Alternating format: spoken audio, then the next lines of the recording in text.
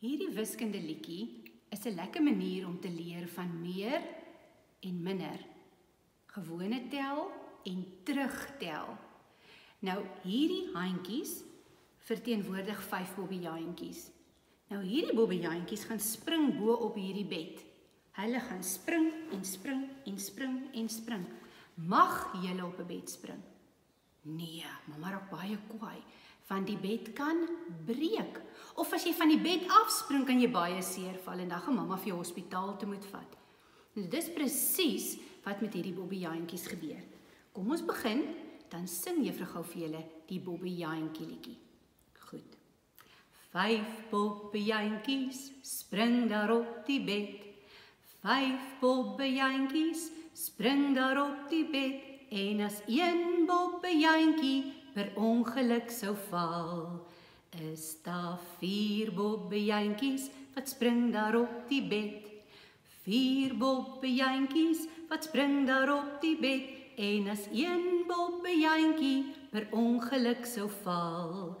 Is daar drie bobbejaantjies wat spring daar op die bed? Drie bobbejaantjies wat spring daar op die bed en as een bobbejaantjie per ongeluk sou val. Is daar twee bobbejaantjies wat spring daar op die bed? Twee bobbejaantjies wat spring daar op die bed en as een bobbejaantjie per ongeluk sou val. Is daar een bobbejaantjie wat spring daar op die bed?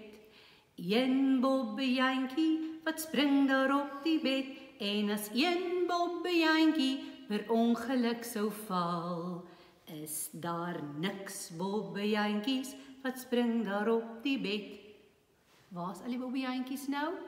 Ja, hulle is almal in die hospitaal, want hulle mag op die bed spring, hulle val af en hulle kry seer. Daar was 5 bobbejaantjies, baie bobbejaantjies wat op die bed gespring het.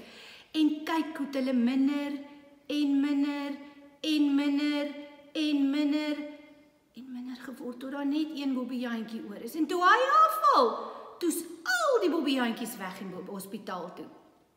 Maar weet julle wat? Hulle het almal gesond geraak. En hulle mamma het gesê moenie weer op die bed spring nie. Maar die bobbejaantjie is toe alleen in sy kamer, stoksiel alleen, net een bobbejaantjie en hy wil toe net so klein bietjie spring. Hierdie een bobbejaantjie spring toe alleen. En toe kom 'n maatjie kuier en hy en die maatjie spring saam. Oh, nou hoeveel is nou op die bed? Twee maatjies. Kyk hoe lekker spring hulle op die bed, né? Nee? En daar's weer 'n klop aan die deur. En mamma sê kom maar binne.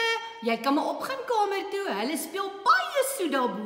Maar hey, mamma weet jy, hulle is besig om weer op die bed te spring. En toe klim daai maatjie op. Hoeveel spring nou op die bed? Nou staan drie bobbejaantjies wat lekker spring op die bed. En toe hierdie drie bobbejaantjies lekker spring te hoor hulle iemand ry met 'n fiets in die pad verby en lui die klokkie. Ooh, nou staan nog 'n maatjie wat kom speel. En dis die vierde maatjie wat kom. En toe, heel laaste kom maar nog 'n maatjie kuier. Nou is hulle 5 en nou is hulle weer klein stotte kabouters en hulle spring weer lekker op die bed. En kyk wat gebeur. Gaan jy saam met my sing hierdie keer? Kom sing saam, dan kyk ons weer hoe raak hulle minder en minder soos hulle afval van die bed af. Vyf poppejantjies spring daar op die bed. Vyf poppejantjies wat spring daar op die bed en as een poppejantjie per ongeluk sou val, is daar vier poppejantjies wat spring daar op die bed. Vier poppejantjies wat spring daar op die bed en as een poppejantjie per ongeluk sou val, is daar drie bobbejantjies wat spring daar op die bed.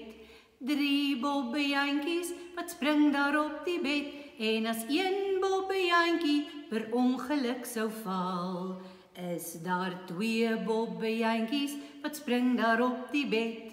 Twee bobbejantjies wat spring daar op die bed en as een bobbejantjie per ongeluk sou val, is daar net een bobbejaantjie en hy gaan nie weer hospitaal toe nie, so hy bly soet in sy kamer.